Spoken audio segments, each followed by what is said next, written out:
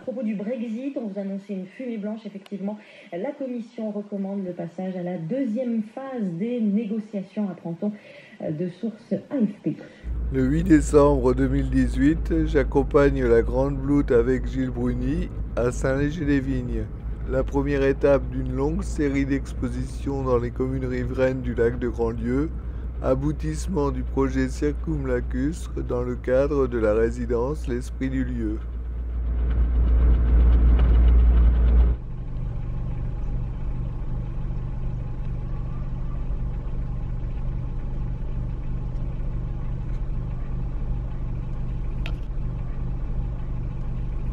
Emballée et fixée sur la galerie de la voiture de Gilles, la grande bloute traverse les paysages.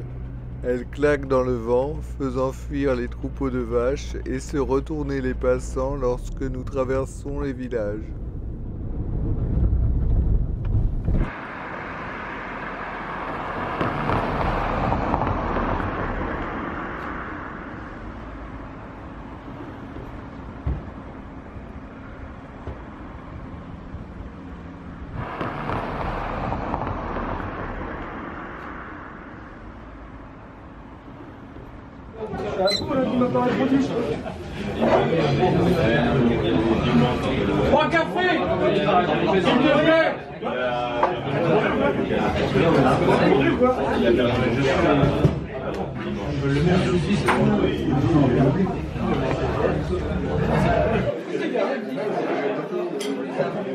Tu veux que je regarde là-bas, c'est ça tu fais des gestes de tête. euh, C'est ça Tu vois, là, de manière un peu assistante, des fois. Je- il faut que je regarde là-bas.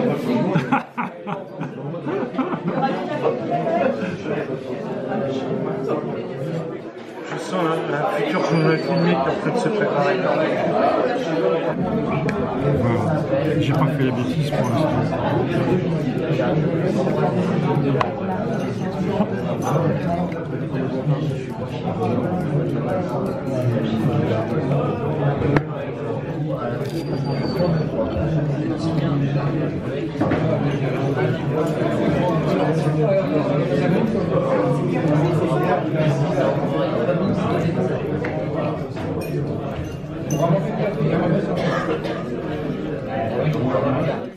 Du temps de, à perdre pour passer ne serait-ce qu'une heure ou deux ou trois heures dans les marais pour savoir de.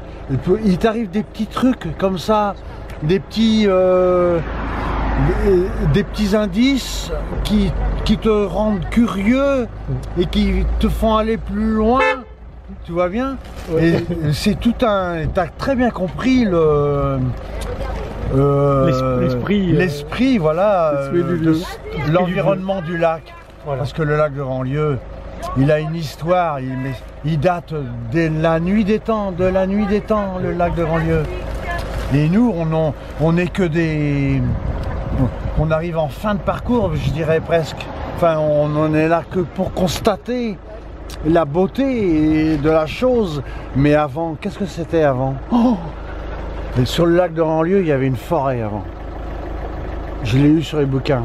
Il y avait une forêt sur le lac de Grandlieu. La forêt, elle a été anéantie. Tout s'est écroulé Oui, dans l'eau. eng- englouti. Englouti. Voilà. C'est ça la ville engloutie. En fait, On dit aussi forêt. que la ville de. Il y a une ville aussi. euh, Herbauge. euh, Herbauge, qui s'est engloutie en même temps euh, dans la vase. Mais, euh, mais Herbauge, c'était voilà, c'était une ville engloutie. Faut voir ça plutôt à l'époque. C'était, j'imagine bien, c'était pas une ville en fait, mais c'était un lieu où plusieurs personnes habitaient. Parce que le lieu était sympa, certainement par le, le lieu- par le, euh, le lieu même. Il y avait, il devait y avoir de l'eau, des arbres et tout ça. C'était et c'était un lieu propice certainement pour y habiter. Mais ça n'a pas duré longtemps. Tout s'est envas- tout, tout s'est enfoncé comme ça. Et voilà. Bon, allez, allez, à la prochaine. hein Ouais, Allez, de, de te voir. Bonjour et bienvenue. ERDF change de nom et devient Enedis. Accueil dépannage électricité d'Enedis, bonjour. Ce service de dépannage est réservé aux clients privés d'électricité et aux interventions de sécurité. Afin de traiter votre appel dans les meilleurs délais, merci de bien vouloir prêter attention aux choix qui vous sont proposés. Veuillez saisir les cinq chiffres de votre code postal.